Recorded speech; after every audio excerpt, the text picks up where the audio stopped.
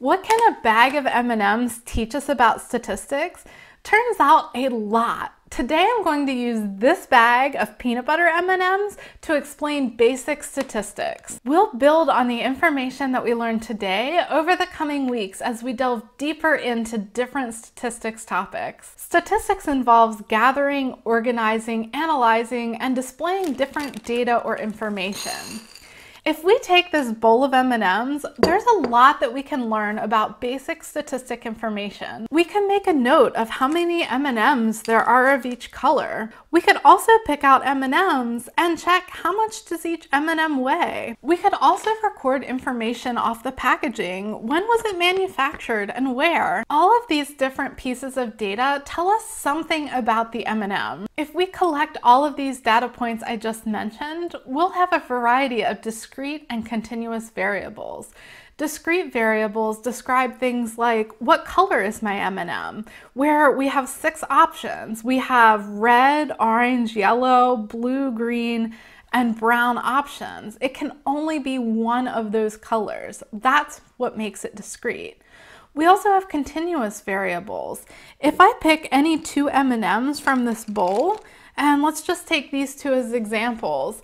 You can see this brown M&M is a lot bigger than the yellow one, and the brown one's weight is going to be higher than the yellow one. If we go through and measure the weight of each of these M&Ms, we're going to find some variance here we know that it's going to be on a weight spectrum, and the finer our scale is, the more precisely we can measure exactly what each M&M weighs. Using this information that's available about each of these M&Ms can help us start to understand something about M&Ms as a whole. There are 159 M&Ms in this bowl from that sharing size bag of peanut butter M&Ms. I've gone through and made a spreadsheet of the color of each M&M and the weight of each M&M. From that information, we can look at descriptive statistics about these M&Ms. Descriptive statistics are the ones we tend to hear about most often. Think about any news report that has some amount of data in it. It's probably something like the average 50 year old has $125,000 saved for retirement. These descriptive statistics are often called measures of central tendency. They tell us in the entire group that we have, how close are things to one single point? Do we have a center point that describes our data well? In one single figure, they tell us something about our data. The most common measures of central tendency are mean, median, and mode. Mean is the same thing that we think of as average. It's taking the weight of every M&M in this bowl and adding them up and then dividing by the total number I have. In this case, our average or mean weight for M&Ms is 1.72 grams. Median is the middle value when we arrange all of our data points from lowest to highest or highest to lowest. It's the score that splits the group in half half of our data is below that point and half of our data is above that point. Median is helpful because it helps limit the impact of outliers. If I have this one big M&M for instance, that's probably going to weigh a lot more than my average M&M, which let's say this one represents. But we don't want to give too much credit to this guy because there's only one of them.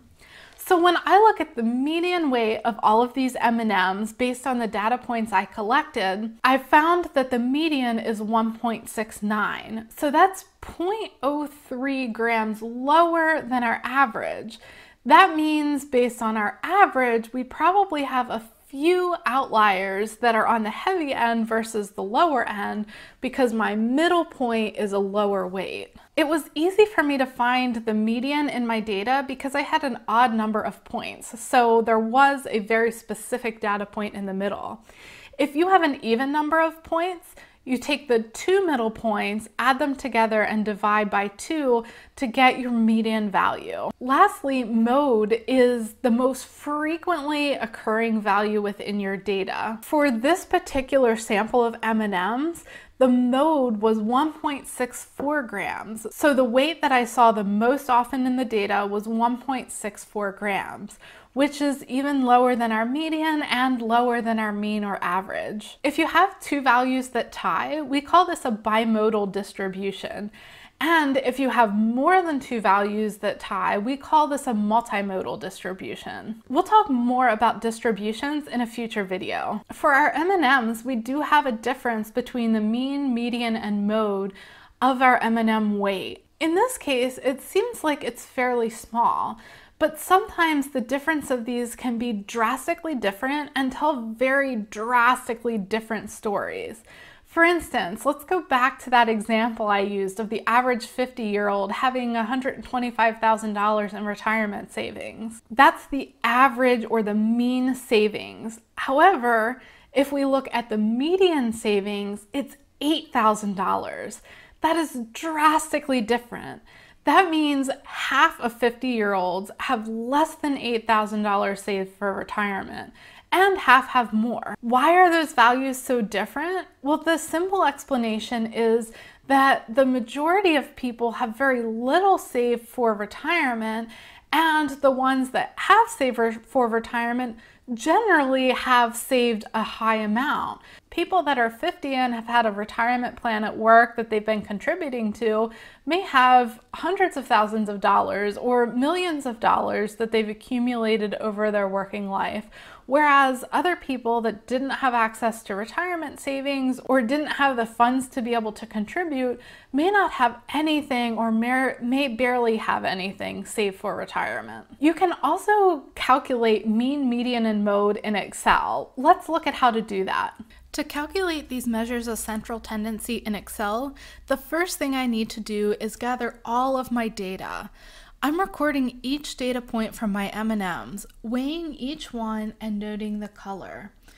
In most cases, you'll already have your data collected and may just need to format it in a table that contains the information you need.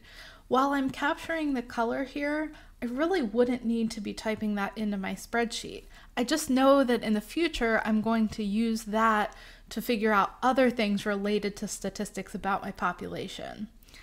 Now we have this complete list of all 159 M&Ms in the package with a record of the color and weight of each one. I want to go ahead and calculate my measures of central tendency, and I'm going to start by setting up a small table where we'll record our data. I'm going to label each point that I'm collecting so it's very clear which data point is which.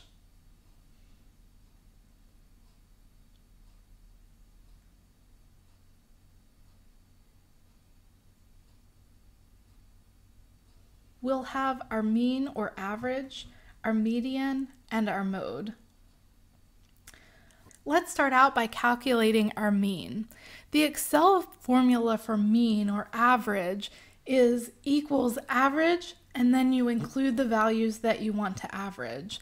These can be either comma separated or they can be a range. Here's what that looks like on our data.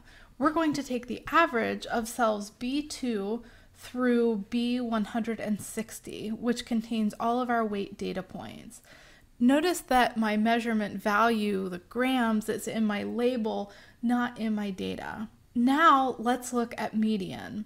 The Excel formula for median is equals a median and then the values to include. Similar to our formula for average or mean, your values can be either comma separated or a range. In our case, we're going to be using the same range we used for mean or average, and we're going to take the median of cells B2 through B160. Lastly, we're going to take the mode. Again, a very similar formula equals mode and then our values to include, which can either be comma separated or a range we're again taking that same range that we've used for our last two formulas. The last thing that I want to do is correct my number of decimal places to match my input data. So in our case, our input data had two decimal places in the gram weight. I'm going to go ahead and change my number format to reflect two decimal places for the mean, median, and mode. You can see in these results that our mean, median, and mode are the same things that we talked about earlier in the video. These Excel formulas are a very quick way to be able to calculate information about your data. If you're using an analytics program instead, Those also will allow you to quickly calculate these mean, median, and mode values, though the formulas are likely to be slightly different. Next week, we'll talk about frequency distributions. Thanks so much for watching.